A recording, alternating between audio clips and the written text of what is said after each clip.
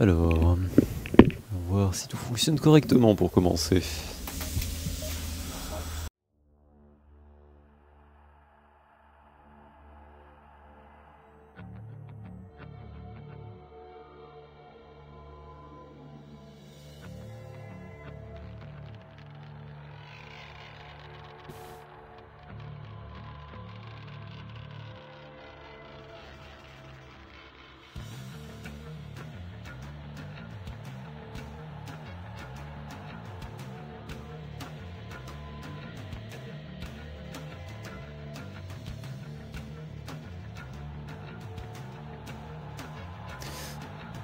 Ah, on dirait que ça fonctionne, c'est déjà un bon début.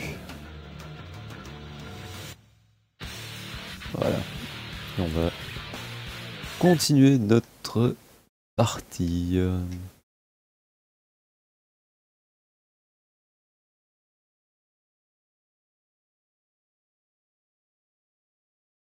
J'espère qu'on va bientôt arriver à la fin parce que ça devient un petit peu long. Un petit peu beaucoup même. Ouais. Est d'arriver je crois.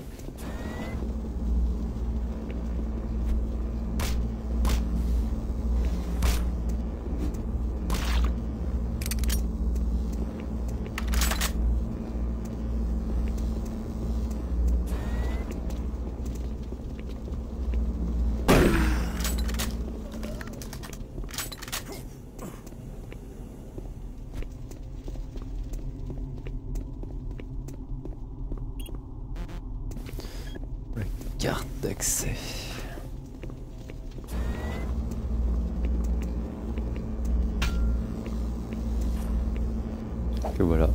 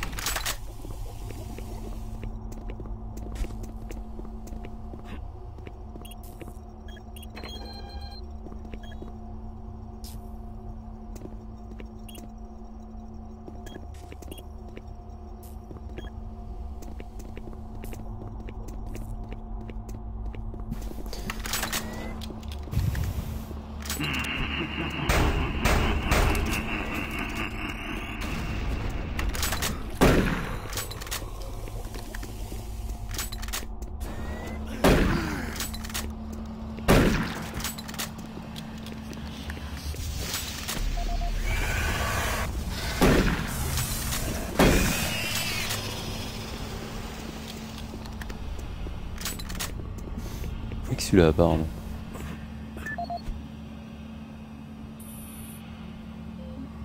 Francis Erickson, pas de journal audio, les emails, demande de changement de code de casier pour 259.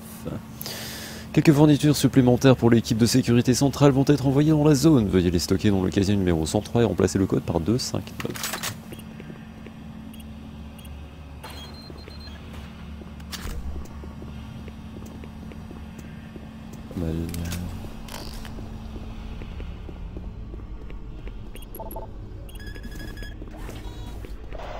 Ouais.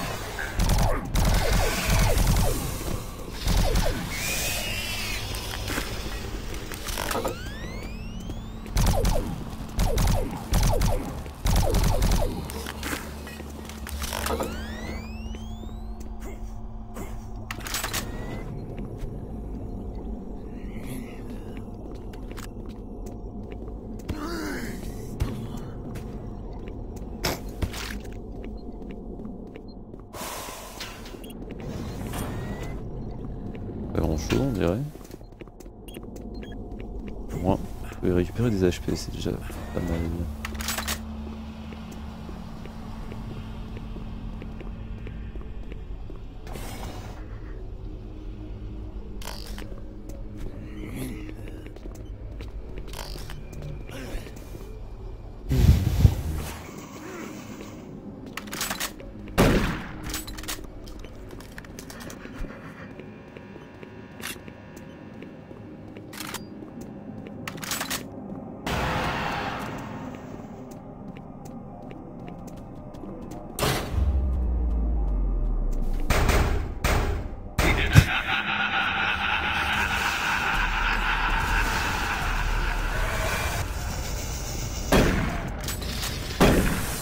Dirait bien.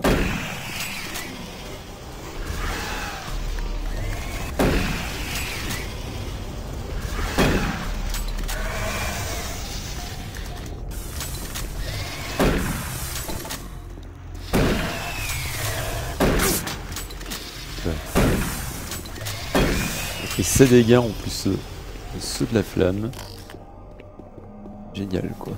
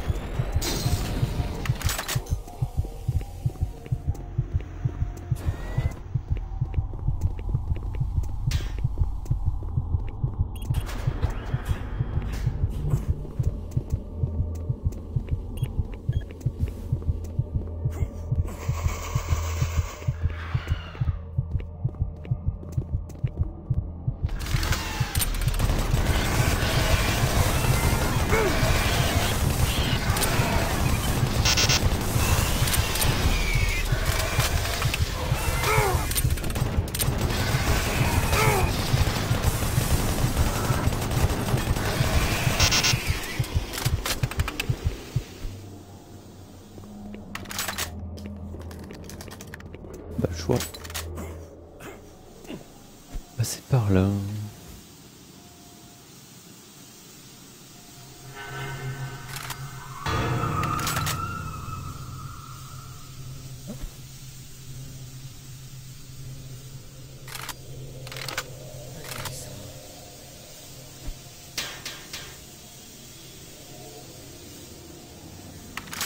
Oh, vous m'avez fait peur.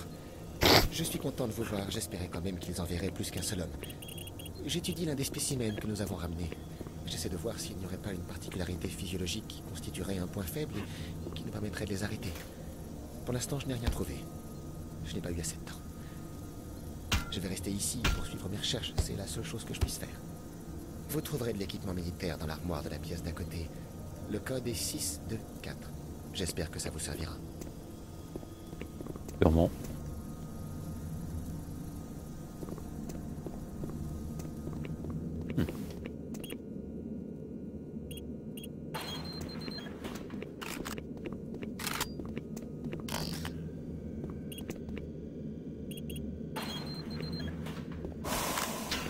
Ah ok.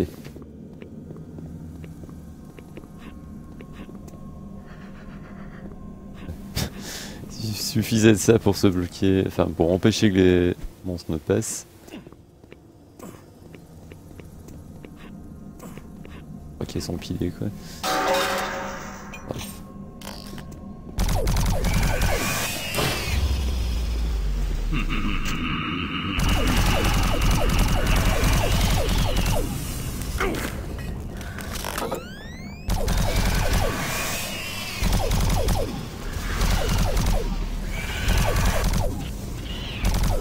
Crever. Ah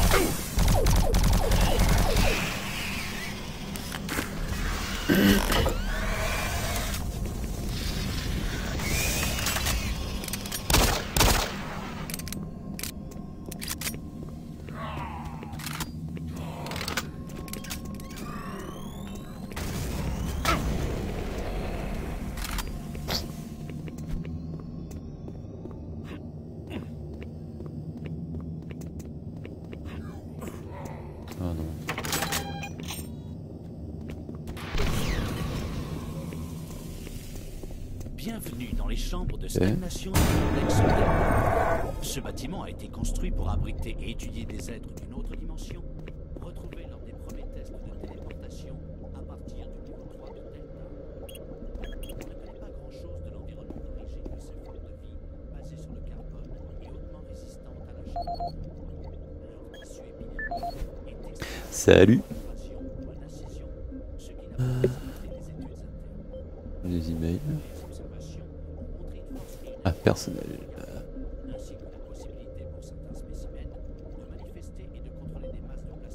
Spécimen 31, Chevalier Infernal.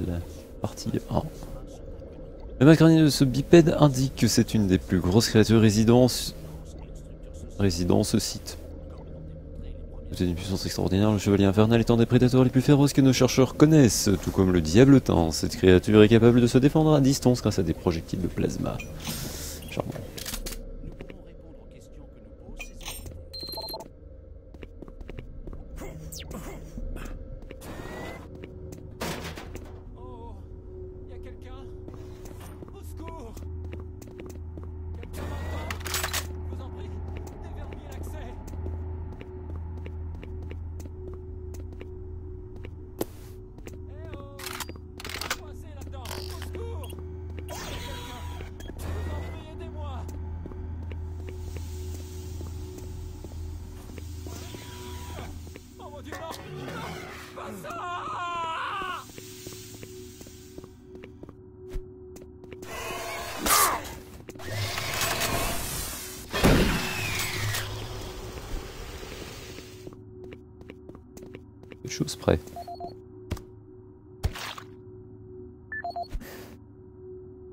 Jacob Stemmens, pas journal audio.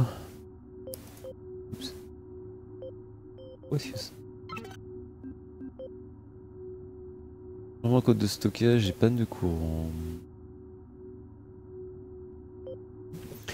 Nous venons de changer le code du casier près du contrôle de transfert de stas. C'est désormais le 371. Veuillez le noter dans le rapport de sécurité pour le personnel concerné.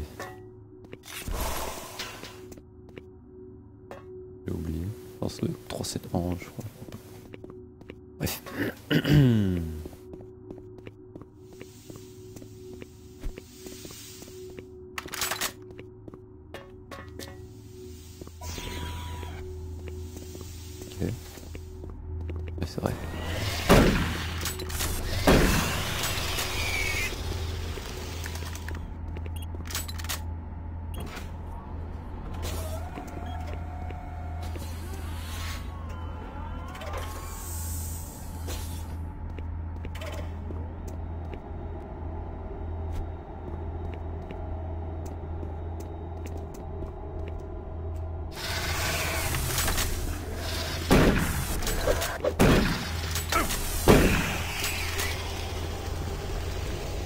Ah ok, c'est pour l'éclairage.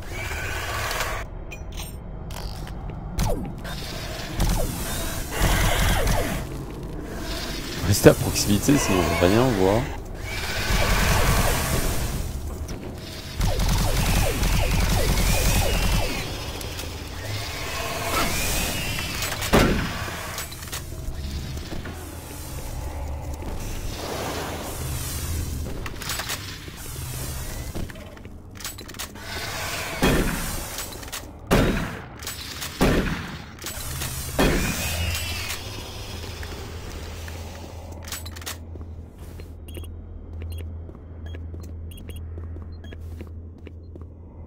Euh, 371.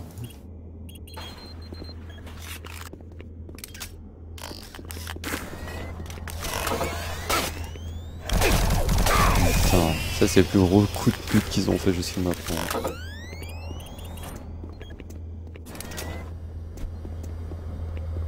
Ah Merde C'est déjà parti.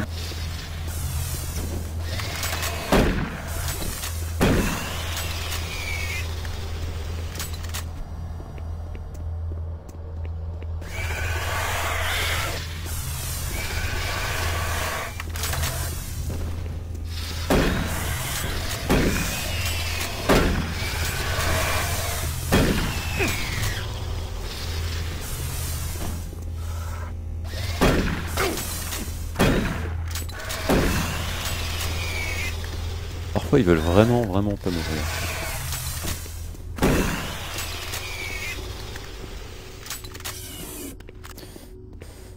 Les vidéos disent qu'on se doute tous très bien que ça ne sert à rien. En général c'est de la merde.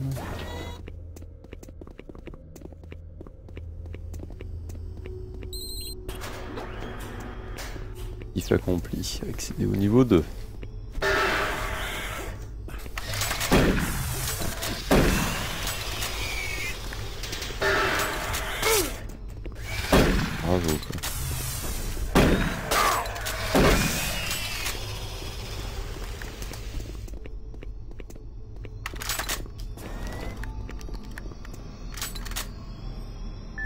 M'emmerde d'avoir le petit message à chaque fois.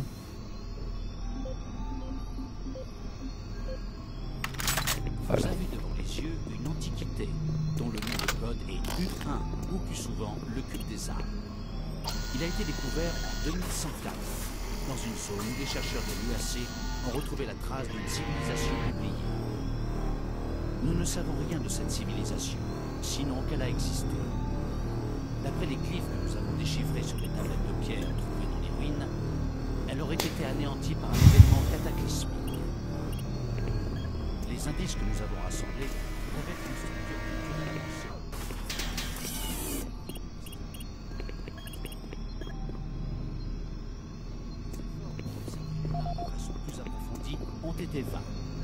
Larry Bullman. La spectrométrie et les scanners n'ont pas réussi à des âmes en tant qu'arme. C'est probablement euh, la dernière arme qui nous manque.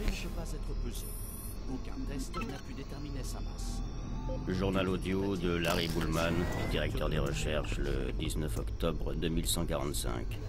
J'ai examiné les glyphes sur l'objet que l'on nomme le cube des âmes. Au regard de mes premières recherches, j'arrive à la conclusion que cet objet est une sorte d'arme. Si les variations de tension pouvaient s'arrêter suffisamment longtemps pour que je connecte les systèmes linguistiques de l'unité centrale, je pourrais prouver ma théorie. J'en profite pour me plaindre des éternels problèmes de courant. C'est déjà assez difficile de vivre sur cette base paumée pour qu'on doive en plus supporter un éclairage qui saute et clignote en permanence. Enfin bon. Au boulot. Ce que j'ai déchiffré jusqu'à présent est assez troublant. On dirait que si celui qui possède l'objet inflige des dégâts ou tue un autre être vivant, il en extrait une sorte de pouvoir. Lorsqu'un certain seuil est franchi, l'objet permet de tuer tout ce qu'il attaque. Je ne sais pas très bien comment on attaque avec cet objet qui doit agir de façon plus ou moins autonome. Jusqu'à maintenant, je n'ai déchiffré que les deux tiers des inscriptions, mais j'ai bien l'impression que le dernier tiers réserve des informations sur un pouvoir encore plus spectaculaire. Et vous le savez, jusqu'à présent, nous n'avons observé aucune réaction du cube.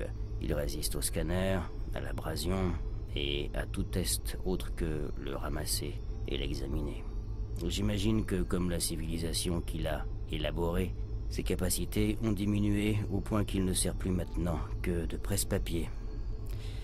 Fin du journal.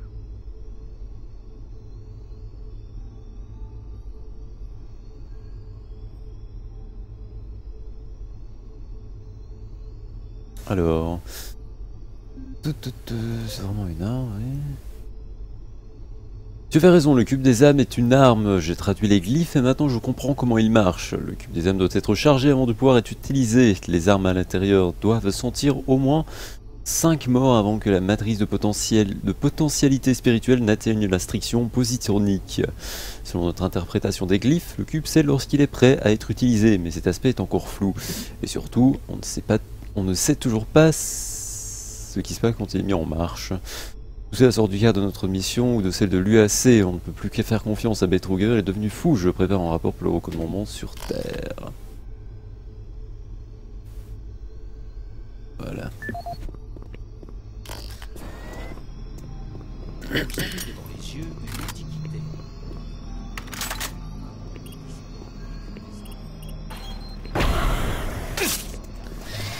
Putain, mais ils sont chiants avec ça, c'est incroyable.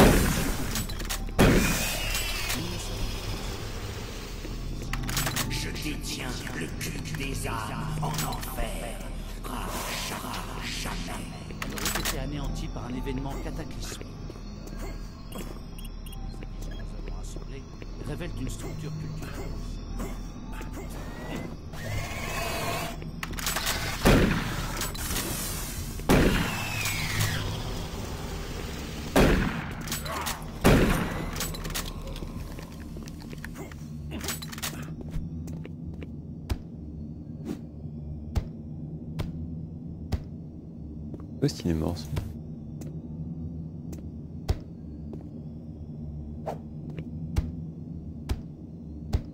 Quand je le tape, c'est comme si je tapais un ennemi euh, encore en vie.